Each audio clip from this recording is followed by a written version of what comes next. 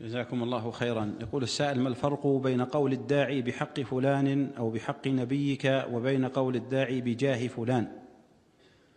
كله لا يجوز. كله إقسام على الله جل وعلا. بما لا يجوز؟ لا يجوز الإقسام على الله بأحد من خلقه.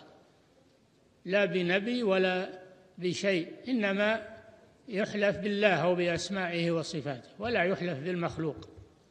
ولا يسأل بالجاه. الجاه أيضا هذا بدعة. ما ورد السؤال بجاه الرسول صلى الله عليه وسلم. ما ورد ابدا.